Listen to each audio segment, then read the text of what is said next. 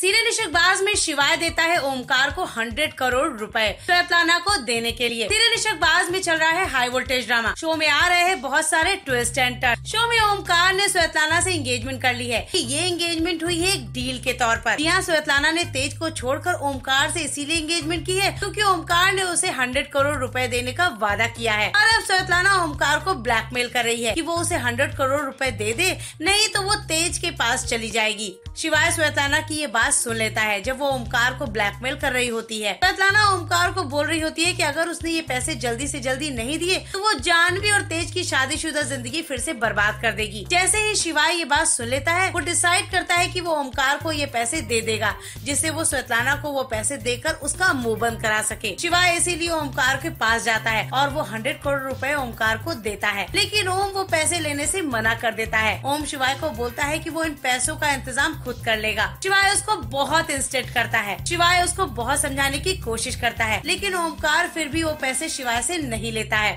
अब देखते हैं कि आगे क्या होता है क्या ओमकार पैसों का जुगाड़ कर पाएगा पहले सारे अपडेट्स जानने के लिए प्लीज सब्सक्राइब अस